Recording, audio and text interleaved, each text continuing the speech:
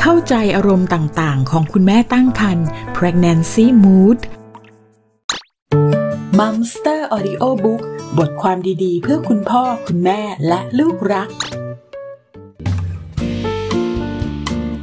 การเป็นคุณแม่ตั้งครรภ์ในยุคนี้ไม่ใช่เรื่องง่ายเลยนะคะ ไหนจะเรื่องสภาพเศรษฐกิจการบ้านการเมือง รวมถึงโควิด อาจจะทำให้คุณแม่ตั้งครรภ์มีเรื่องให้คิดมาก ไม่สบายใจอยู่ตลอดเวลา และด้วยความที่คุณแม่ตั้งครรภ์นะคะ มีระดับฮอร์โมนในร่างกายที่เปลี่ยนแปลงไปด้วย ก็จะยิ่งทำให้สภาพจิตใจและอารมณ์ของคุณแม่แปรปรวนมากกว่าปกติค่ะ และเพื่อให้คุณแม่ตั้งครรภ์สามารถผ่านช่วงอารมณ์แปรปรวนเหล่านี้ไปได้นะคะ ครอบครัวและคนรอบข้าง ต้องทำความเข้าใจอารมณ์ต่างๆ ของคุณแม่ตั้งครรภ์หรือ pregnancy mood รวมถึงต้องใส่ใจดูแลอย่างใกล้ชิดค่ะ และก็ต้องคอยเฝ้าสังเกตว่า คุณแม่ส่งสัญญาณขอความช่วยเหลืออยู่หรือเปล่า ถ้าเป็นเช่นนั้นนะคะ ครอบครัวต้องรีบเข้าไปช่วยเหลือ คุณแม่ตั้งครรภ์ให้ทันท่วงทีนะคะ มาพูดถึงอารมณ์แรกของคุณแม่ตั้งครรภ์นะคะ นั่นก็คือความวิตกกังวลค่ะ อาการแพนิคหรืออาการวิตกกังวล เป็นหนึ่งในอาการที่เกิดขึ้นได้บ่อยมากในคุณแม่ที่ตั้งครรภ์ซึ่งอาการวิตกกังวลของคุณแม่ก็ส่วนใหญ่จะมีสาเหตุมาจากความเครียด และความวิตกกังวลในทุกเรื่องรอบตัวมากจนเกินไปนะคะ ข้อสังเกตของคุณแม่ตั้งครรภ์ที่มีอาการแพนิคก็คือ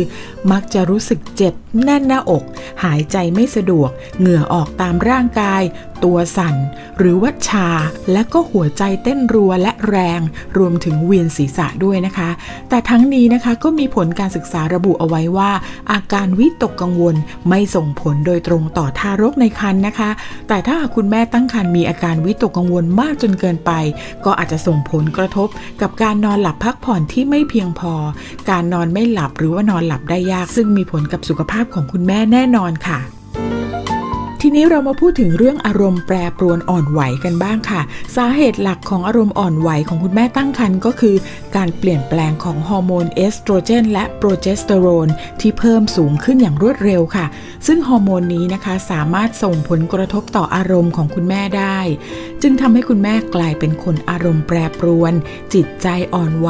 ร้องไห้ง่าย น้อยใจง่าย หงุดหงิดง่าย โกรธง่ายเคืองง่ายไปหมดเลยล่ะค่ะ ฉะนั้นเมื่อคุณแม่ตั้งครรภ์เกิดภาวะนี้ขึ้นนะคะ คนรอบๆข้างโดยเฉพาะคุณสามีนะคะจำเป็นจะต้องทำความเข้าใจและรู้เท่าทันอาการนี้ด้วยค่ะ ไม่ใช้อารมณ์รุนแรง ไม่ประชดประชันกันนะคะ แต่ควรอยู่ข้างๆ ให้กำลังใจคุณแม่ แล้วก็ผ่านสถานการณ์นี้ไปด้วยกันค่ะ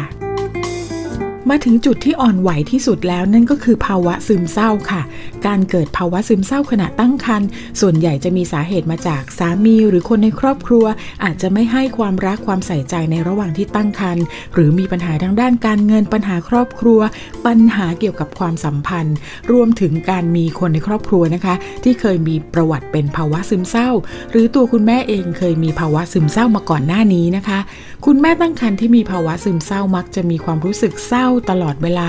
รู้สึกว่างเปล่าโดดเดี่ยว ชีวิตไม่สดใส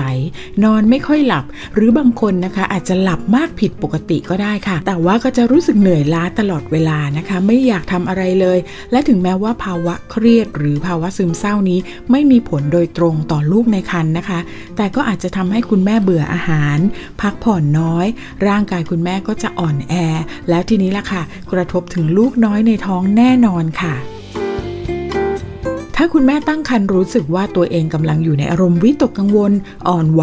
แปรปรวน รวมถึงภาวะซึมเศร้านะคะ สามารถนำวิธีการต่อไปนี้นะคะ ไปลองทำเพื่อสร้างความรู้สึกให้ดีขึ้นค่ะ เทคนิคแรกนะคะ ลองหาใครสักคนที่คุณแม่ไว้ใจ รู้สึกสบายใจที่ได้คุยกับเขา พูดเรื่องราวของความวิตกกังวลให้เขาฟัง อย่างน้อยนะคะ การที่เราได้พูดออกไป แล้วมีคนตั้งใจฟังด้วยหัวใจเนี่ยจะสามารถช่วยให้คุณแม่รู้สึกดีขึ้นได้มากเลยล่ะค่ะ หรือวิธีต่อมานะคะ คุณแม่ลองพาตัวเองออกไปสูดอากาศที่บริสุทธิ์ ไปมองต้นไม้ใบไม้สีเขียวๆ หรือว่านั่งฟังเสียงคลื่นทะเล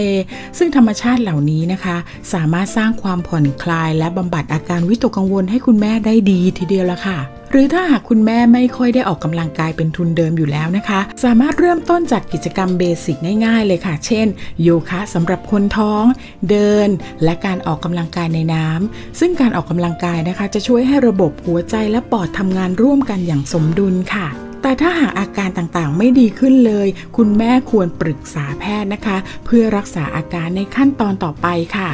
สำหรับครอบครัวและคนรอบข้างนะคะ ไม่ว่าจะเป็นคุณสามี พ่อแม่หรือเพื่อน ก็ควรจะสังเกตชีวิตประจำวันของคุณแม่ตั้งครรภ์ด้วย ทั้งในการนอนหลับพักผ่อน การรับประทานอาหาร รวมถึงอารมณ์ต่างๆนะคะ ว่ามีอะไรไม่ปกติหรือเปล่า ถ้าสังเกตว่าผิดแปลกไปจากเดิมนะคะ ครอบครัวก็ควรจะมีการสอบถามพูดคุย ให้กำลังใจ ไม่ปล่อยให้คุณแม่ตั้งครรภ์รู้สึกโดดเดี่ยว หรือว่าเศร้าเหงาอยู่คนเดียวนะคะ ก็จะช่วยให้คุณแม่ตั้งตั้งครรภ์รู้สึกดีขึ้นได้มาก Momster ก็ขอเป็นกำลังใจให้คุณแม่ตั้งครรภ์ทุกคนที่กำลังรู้สึกอ่อนไหวนะคะ รู้สึกอารมณ์ไม่ค่อยดี มาฟัง audiobook กับ Momster ค่ะ แล้วก็จะรู้สึกดีขึ้น ขอบคุณที่ติดตาม Momster นะคะ